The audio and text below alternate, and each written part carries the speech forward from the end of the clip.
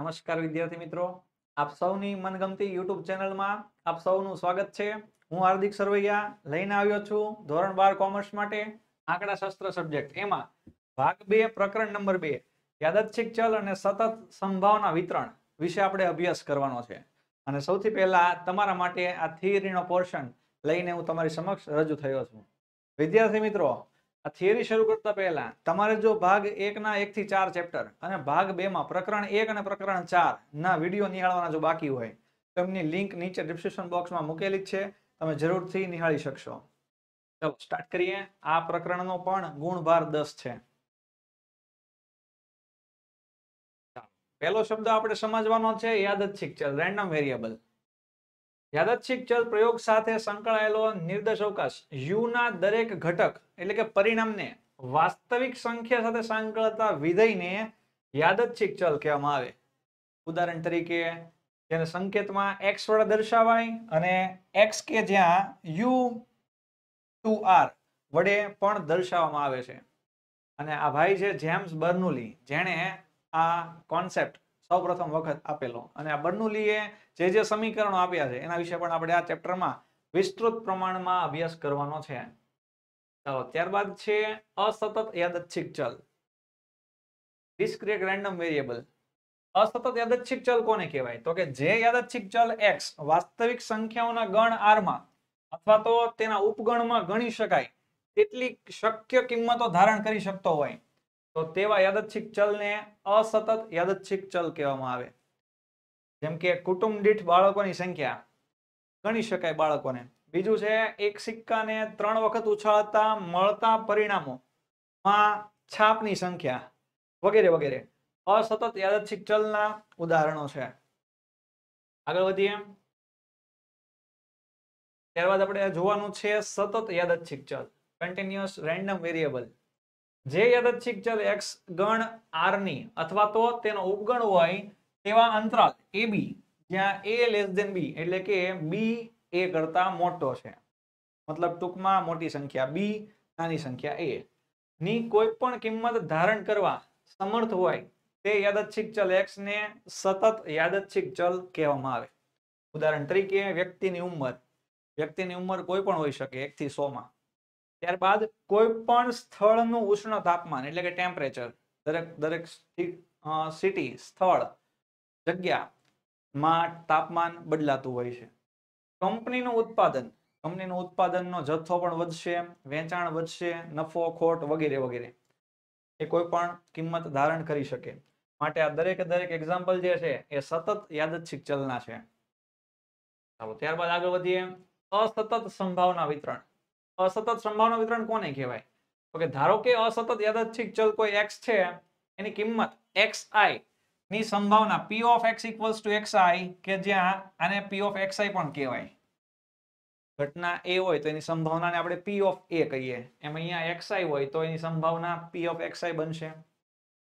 જ્યાં i equals to 1 2 3 up to n પ્રયત્નોની સંખ્યા.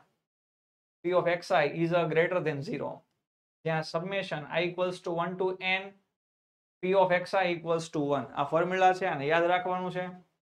તો વાસ્તવિક કિંમતોના ગણ p of x1 p to x2 to up to P p X xn ને અસતત યાદચ્છિક ચલ x નું સંભાવના વિતરણ કહેવાય. તેને કોષ્ટકમાં નીચેના પ્રમાણે પણ લખી શકાય અને રજૂ કરી શકાય. જેમ કે અહીંયા x ટુ એક્સ x1 તો પહેલામાં આવશે x1 x2 x3 two to xn minus 1 અને લાસ્ટમાં xn તો આ બધી જ કિંમત હું એની સંભાવના શોધું તો p of x1 x2 માટે p of x2 x3 માટે p of x3 એન્ડ લાસ્ટમાં xn માટે p of xn અને આ બધાનું સબમેશન આપણને 1 મળશે. બધાનો ટોટલ કરીશું તો આપણને આન્સર કેટલો મળશે? 1 અહીં zero less than of X I less than one એટલે કે આનો જવાબ પણ ઝીરો અને એકની વચ્ચે જ આવશે. સંભાવના જેવું છે એટલે સંભાવનાનું મૂલ્ય હંમેશા ઝીરો અને એકની વચ્ચે જ મળશે. અહીંયા પણ આ i equals to 1 2 3 up to n. આગળ વધીએ. અસતત યાદચ્છિક ચલના મધ્યક અને વિચરણ. ચાલો, ધારો કે યાદચ્છિક ચલ કોઈ એક્સ છે, જે x1 x2 two x N કિંમતો ધારણ કરે છે. કોઈ પણ એક કિંમત. અથવા બધી જ કિંમત ધારણ કરી શકતો હોય. તો તેનું સંભાવના વિતરણ આવી રીતે લખી શકાય. અહીંયા નમૂનો આપેલો જ છે. X one X two X three up to X N તો P of X one P of X two P of X three up to P of X N અને આ બધી જ સંભાવનાનો સરવાળો એક થશે. ત્યારબાદ છે યાદચ્છિક ચલ એક્સ નો મધ્યક. આ મધ્યકને મ્યુ વડે દર્શાવાય. Mu equals to E of X equal to sigma X I ગુણ્યા પી ઓફ એક્સઆઈ આ ફોર્મ્યુલા છે, આને યાદ રાખવાનું છે. આ ફોર્મ્યુલા બર્નુલી આપેલું. મ્યુ ને યાદચ્છિક ચલ એક્સની અપેક્ષિત કિંમત પણ કહેવામાં આવે અને એને મધ્યક પણ કહેવાય. તો બે અલગ અલગ નામ થઈ ગયા. મધ્યકનો સિમ્બોલ મ્યુ અને એનું બીજું નામ શું? અપેક્ષિત કિંમત. ત્યારબાદ આપણે જોવાનું છે વિચરણ. તો વિચરણને કેવા છે સિગ્માનો square. Sigma square equals to V of X equal to E. બ્રેકેટમાં X minus mu whole square. થોડુંક સાદરૂપ આપીએ તો આના બરાબર આવું પણ લખી શકાય. E of X square minus mu square. Next step E of X square as it is અને મ્યુ ની કિંમત મૂકવાની. મ્યુની કિંમત આવી રહી. ઈ ઓફ એક્સ આખાનો સ્ક્વેર તો આપણું આખું સૂત્ર sigma square equals to E of X square minus E of X whole square આ ટાઈપ થઈ જશે. બીજું, જ્યાં આ ઈ ઓફ એક્સ સ્ક્વેર જે છે, એના બરાબર આપણે આવું લખી શકશું. E of X square into P of X I યાદચ્છિક ચલ એક્સ ના મધ્ય મ્યુ અને વિચરણ સિગ્મા સ્ક્વેર ને એક્સ ના સંભાવના વિતરણના મધ્યક અને વિચરણ કહેવાય. આ મ્યુ ને મધ્યક કહેવાશે અને સિગ્મા સ્ક્વેર ને વિચરણ કહેવાશે યાદચ્છિક ચલ એક્સનું વિચરણ હંમેશા આપણને ધન મળશે કારણ કે વિચરણ એટલે કે સિગ્મા નો સ્ક્વેર માઇનસમાં વેલ્યુ હશે તો પણ પ્લસ થઈ જશે. આપણને ખ્યાલ જ છે કોઈ પણ સંખ્યા હોય માઇનસ વાળી અથવા તો ઋણ પૂર્ણાંક. એનો આપણે સ્ક્વેર કરીએ તો આપણને જવાબ ધન પૂર્ણાંક મળે. ત્યારબાદ છે દ્વિપદી સંભાવના વિતરણ. બાયનોમિયલ પ્રોબેબિલિટી ડિસ્ટ્રીબ્યુશન ત્રિવિધ વિકલ્પનો નિયમ લો ઓફ ડાયક્લોનોમી જે પ્રયોગના શક્ય પરિણામો માત્ર એક જ હોય, તે નિયમને દ્વિવિધ વિકલ્પનો નિયમ કહેવાય. પહેલું સફળતા. સફળતા આપણે કોને કહેશું? તો કે પ્રયોગમાં જે નિશ્ચિત પરિણામ મળે છે, તેને આપણે સફળતા કહેશું. તેની આપણે વિસ્તૃત પ્રમાણમાં ચર્ચા દાખલાઓમાં કરીશું. નંબર બે, નિષ્ફળતા કોને કહેવાય? તો કે પ્રયોગમાં જે નિશ્ચિત પરિણામ ન મળતું હોય, તેને નિષ્ફળતા કહેવાય. વિવિધ વિકલ્પના પ્રયોગ. જોઈ લઈએ. જે પ્રયોગમાં સફળતા અને નિષ્ફળતા એમ બે જ પરિણામો હોય, તેવા પ્રયોગને દ્વિવિધ વિકલ્પ પ્રયોગ કહેવાય. કાં તો સફળતા મળે, કાં તો નિષ્ફળતા. હવે જોવાનું છે આપણે બર્નોલીના પ્રયત્નો. બર્નોલીએ શું કર્યું હતું? જો દ્વિવિધ વિકલ્પ વાળા પ્રયોગનું સમાન પરિસ્થિતિ હેઠળ એન વખત પુનરાવર્તન કરવામાં આવે. અને દરેક પ્રયત્નમાં સફળતાની સંભાવના ઝીરો અને એકની વચ્ચે મળતી હોય, એટલે કે અચળ સંખ્યા મળે, તો આવા પ્રયત્નોને બર્નોલી પ્રયત્નો કહેવાય, કારણ કે આ વ્યાખ્યા બર્નોલીએ આપેલી. અને એણે એના જીવનકાળ દરમિયાન આ પ્રયોગ લાઈવ કરેલો. ત્યારબાદ આગળ વધીએ, દ્વિવિધ સોરી દ્વિપદી યાદચ્છિક ચલ. જો એન બર્નોલી પ્રયત્નોમાં મળતી સફળતા એસ અને નિષ્ફળતા એફની શ્રેણીમાં. સફળતાની સંખ્યાને એક્સ વડે દર્શાવવામાં આવે તો એક્સ ને દ્વિપદી યાદચ્છિક ચલ કહેવામાં આવે. જ્યાં એક્સ એ શાંત ગણ છે. જેમ કે આપણને સફળતા ન પણ મળે, એટલે કે એક્સની કિંમત ઝીરો. પહેલી વખતમાં સફળતા મળી જાય, એટલે કે એક્સ ઇક્વલ ટુ વન અને સફળતા મેળવવા માટે એન પ્રયત્ન પણ કરવા પડે, એટલે કે અપ ટુ એન એમાંથી કોઈ એક કિંમત ધારણ કરી શકે. આગળ વધીએ. દ્વિપદી સંભાવના વિતરણ. જો દ્વિપદી યાદચ્છિક ચલ x ની કિંમત x નું સંભાવના વિતરણ p of capital x equals to small x equal to p of x equal to ncx p raise to x into q raise to n minus x. આ સૂત્ર બર્નોલી આપેલું. જ્યાં n જે છે એ બર્નોલી પ્રયત્નની સંખ્યા ગણવામાં આવે. કે હું કેટલા પ્રયત્ન કરું તો મને સફળતા મળે. જેમ કે હું એક પાસો ફેંકું છું તો મને વધુ વધુ છ પરિણામ મળશે. સિક્કો ઉછાળું છું તો મને બે પરિણામ મળશે. પણ આપણો પ્રયોગ શું છે? સફળતા શેના માટે આપણે મેળવવાની છે? શાના માટે પ્રયોગ કર્યો છે? એના પર આ એનનું મૂલ્ય આધારિત રહેશે. X equal to zero one two up to N અને zero less than P less than one એટલે કે આ પી ની કિંમત પણ ઝીરો અને એકની વચ્ચે જ આવશે. બીજું એક સૂત્ર પણ છે આપણે યાદ રાખવાનું છે. આ પી અને ક્યુ નો સરવાળો હંમેશા એક થશે. જેના આધારે આપણને પી કાં તો ક્યુ આપ્યો હોય તો કોઈ પણ એકની કિંમત મળશે. તો તેને દ્વિપદી સંભાવના વિતરણ પણ કહેવાય. આગળ વધીએ થોડાક આના નિયમો છે અને થોડાક તારણો પણ કાઢેલા છે જે આપણે અહીંયા જોવાના છે. પહેલું તારણ એવું કાઢેલું છે કે એન અને પી દ્વિપદી સંભાવના વિતરણના પ્રાચલ છે. બીજું, વિતરણનો મધ્યક એટલે કે એનપી અને વિચરણ એટલે કે એનપી ક્યુ આપણે યાદ રાખશું. એનપી અને ક્યુ નો ગુણાકાર કરશું તો આપણને વિચરણ મળે અને એન અને પી નો ગુણાકાર કરશું તો આપણને મધ્યક મળે.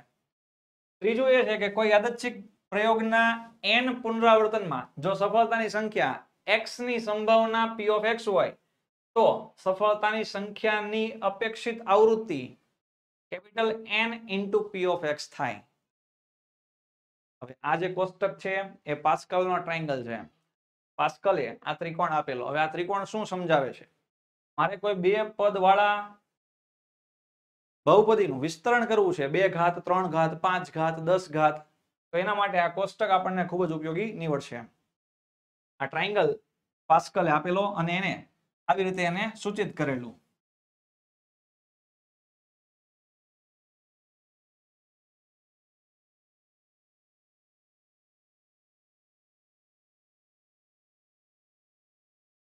એ પ્લસ બી આખાની જો ઝીરો ઘાત લેવામાં આવે તો આપણને એના સહગુણક શું મળશે?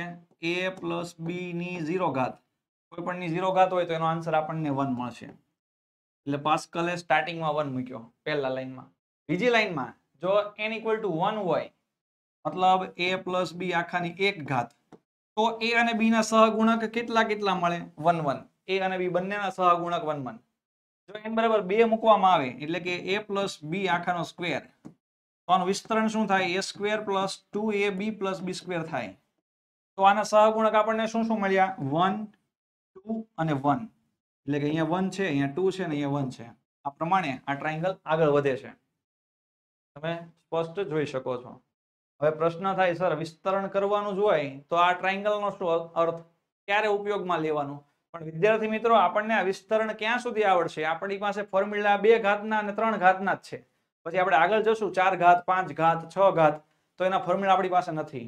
તો આ ફોર્મ્યુલાનો યુઝ કરવા માટે આ ટ્રાયંગલ આપણને ખૂબ જ ઉપયોગી નીવડશે. ચાલો આગળ વધીએ.